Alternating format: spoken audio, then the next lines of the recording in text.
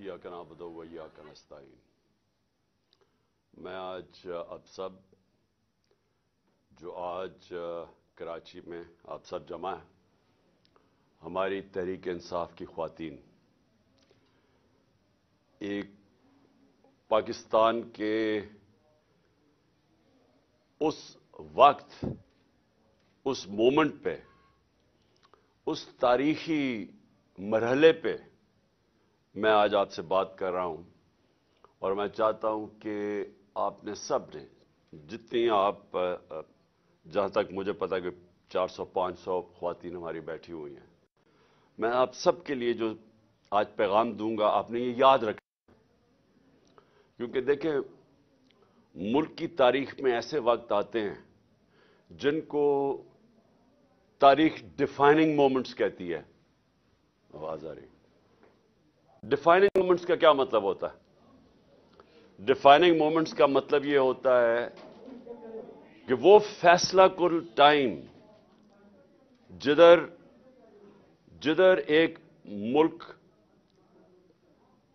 तबाही की तरफ़ भी जा सकता है, अरूज की तरफ़ भी जा सकता है। पाकिस्तान की तारीख का आज सबसे बड़ा क्राइसिस है। अगर मैं क्राइसिस देखूँ तो हमारी ज़िंदगी के अंदर हमारा मुल्क टूटा, बांग्लादेश बना, मुझे वो अभी भी याद है। बहुत बड़ा क्राइसिस था पाकिस्तान में। और उसके अलावा भी क्राइसिस आए, लेकिन कभी भी ऐसा क्राइसिस नहीं आया जो आज है। एक आदमी के फैसले से, वो कौन था, वो अब सब जानते हैं कौन था जिसके फैसले से। एक ऐसा मुल्क के अंदर बुरहान आया है जिसकी पेशन गोई आज से मैंने सात महीने पहले कर दी थी।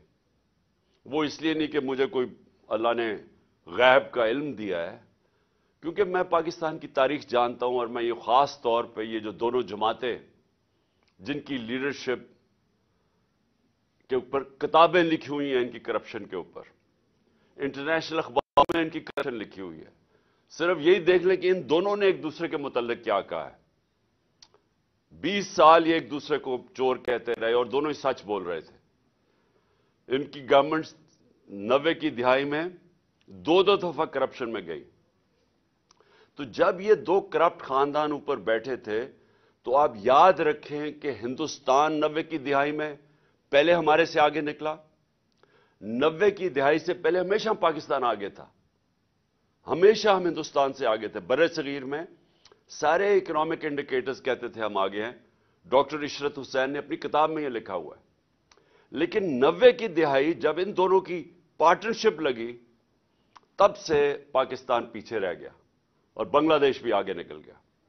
तो जो मैं आज आपको बात बताना चाहता हूँ, ये आपने बड़े गौर से इसलिए सुननी है कि ये इसके, हमारी अब जद्दोजहद के ऊपर पाकिस्तान का जो मुस्तबिल है, वो डिपेंड कर रहा है। हम कितनी मेहनत करते हैं, कितनी जद्दोजहद करते हैं, कितनी लोगों के अंदर शौर पैदा करते हैं। हमने जो डोर टू डोर कैंपेन शुरू की हुई है, हम घरों में जाके लोगों को जगाते हैं और जिस तरह, जितना आवाम में शूर आता जाएगा, उतना ही हम ये जो इतना बड़ा आज क्राइसिस के अंदर हम पड़ गए और ये मजीद बिगड़ेगा, हम इसका मुकाबला कर लेंगे। और वाहिद आपकी जमात है। ये याद रखें, आज अगर कौम किसी की तरफ़ देख रही है, वो आपकी तरफ़ देख रही है। क्योंकि ये सब एक तरफ़ हो गए हैं। सारी जमातें जो 30 साल से, और ख़ास तौर पर ये दो बड़ी जमातें जो इकतदार में बैठी रही हैं, ये सब एक तरफ़ हो गई हैं। और इस वक्त कौम को स्वाय आपके, आपकी जमात के कोई और नहीं नज़र आ रहा जो पाकिस्तान को इस मुश्किल वक्त से अब निकालेगा। और ये हमेशा याद रखें कि हम अब तक ये उम्मीद लगा के रहते थे जी कि चलें जी, पॉलिटिशियन ने बुरा किया तो एस्टैब्लिशमेंट आ जाएगी और वो बचा लेगी। इस वक्त जिधर हम खड़े हैं, उसमें एक आदमी जिसके पास बड़ी ताकत थी, जनरल बाजवा। उसका बहुत बड़ा हाथ है, बल्कि उसी का हाथ है जो आज हम यहाँ खड़े हैं। और मैं फिर से, मैं क्योंकि बार बार अपनी कौम को ये बताना चाहता हूँ कि मैंने उसको बताया भी था और मैंने शौकत तरीन को भी भेजा, उसको समझाएँ कि अगर आपने हुकूमत को, हमारी हुकूमत को डिस्टेबलाइज किया, जो बड़ी मुश्किलों से, एक बैंक मुल्क था जो हमें मिला था।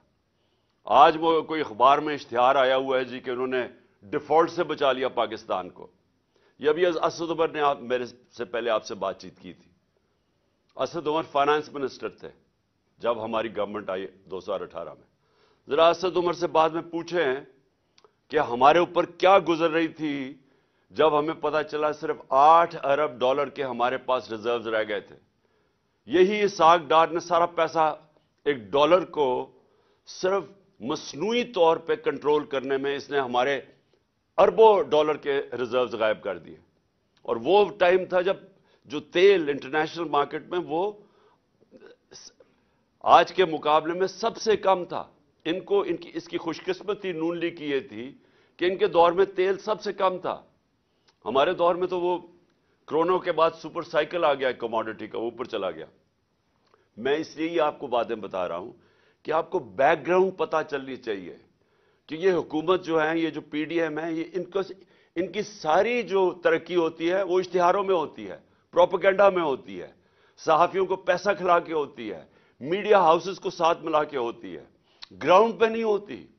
क्योंकि अगर होती ही तो जो इनको हुकूमत मिली थी, जो हम छोड़ के गए थे तो आज ये हाल ना होता कि सारी दुनिया के सामने बेकारियों की तरह फिर रहे हैं और मुल्क डिफ़ॉल्ट के करीब है और पैसे मांगते फिर रहे हैं।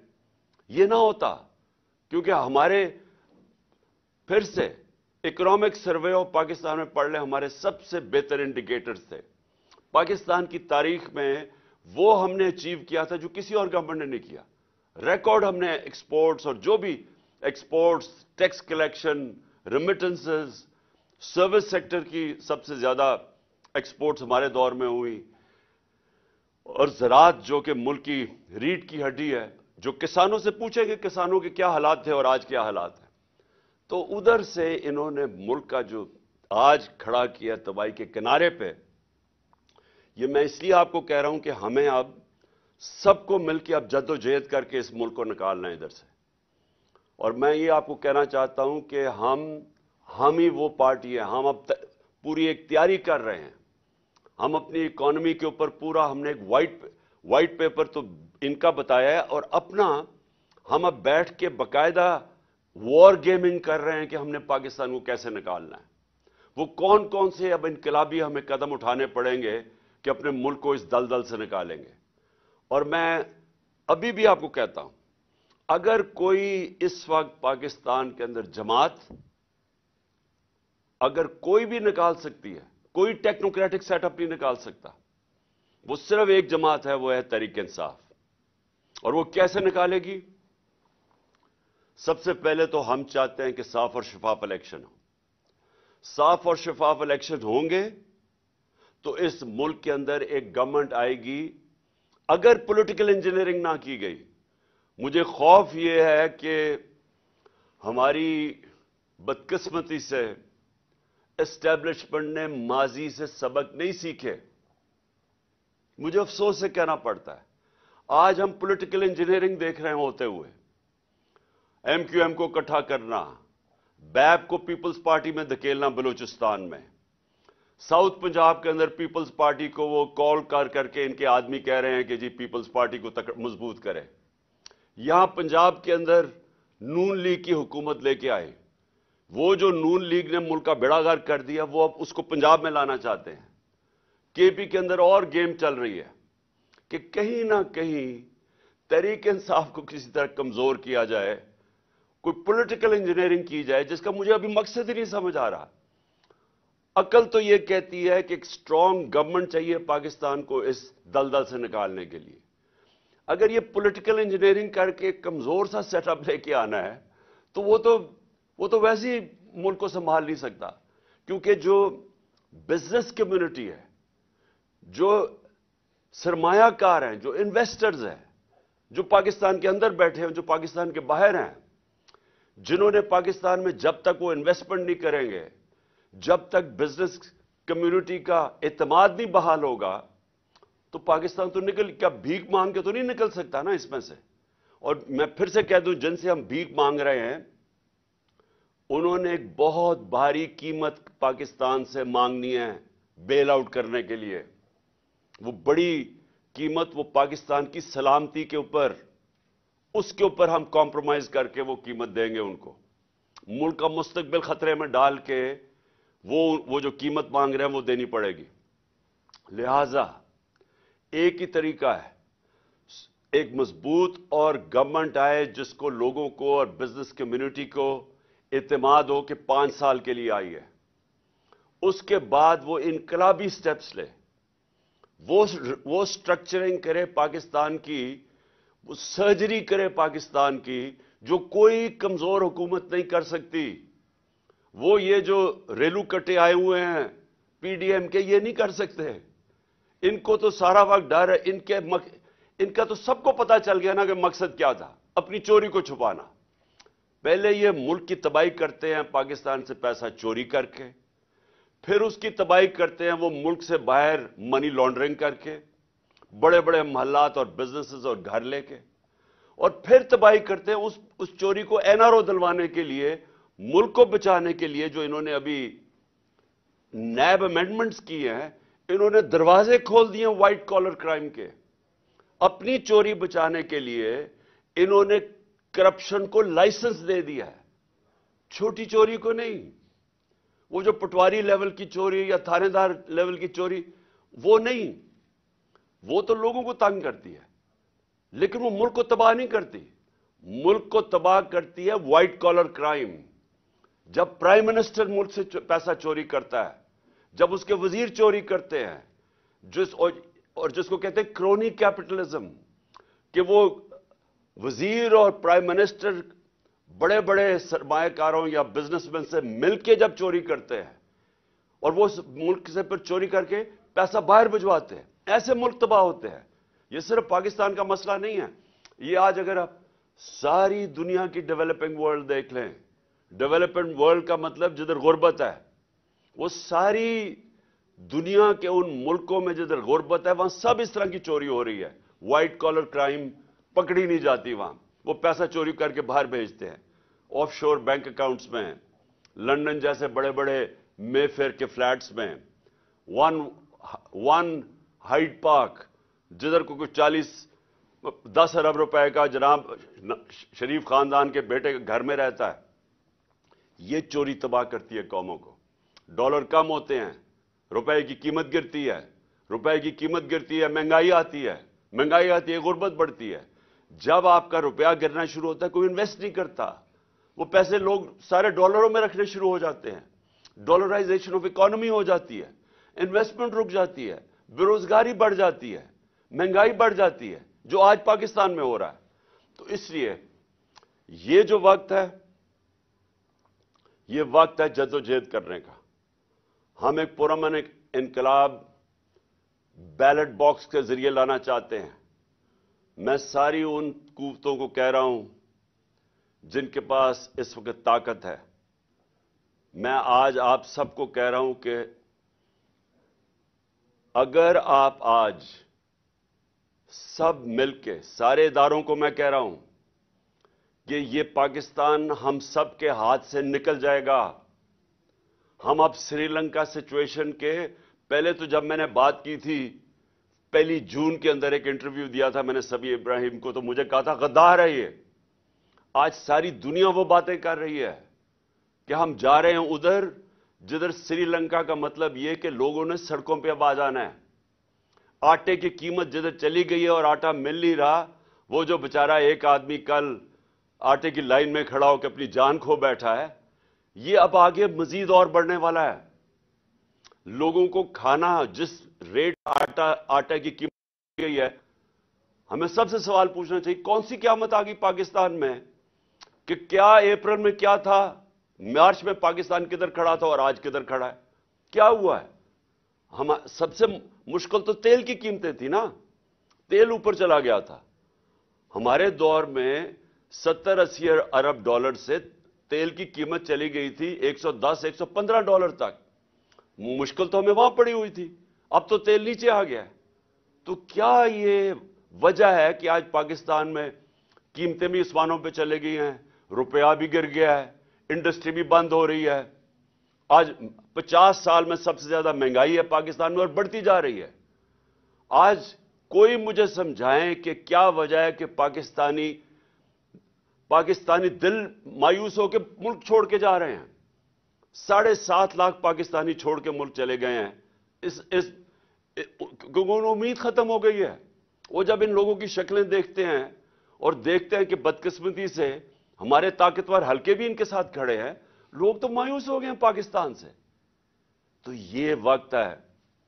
ये मैं सारे इदारों को कह रहा हूँ कि ये वक्त है मुल्क को संभालने का। ये सबके हाथ से निकलने वाला है। और ये संभालेगी एक पॉलिटिकल पार्टी जिसकी जड़ें हैं सारे पाकिस्तान में, जो कि फेडरल लेवल के ऊपर वाहिद एक पॉलिटिकल पार्टी है, जो मुल्क को इकट्ठा रख सकती है। हमारे दुश्मनों का एजेंडा पूरा हो रहा है। ये तो हुकूमत ऐसी आई है।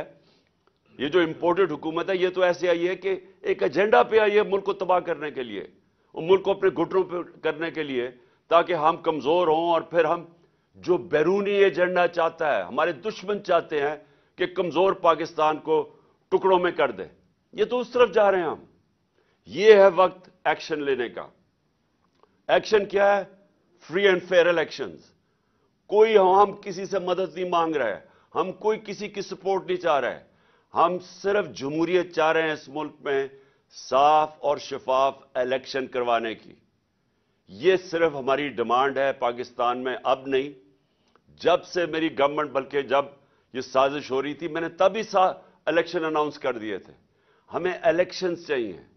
इलेक्शन से एक ही तरीका है। मैं आज चैलेंज करता हूँ।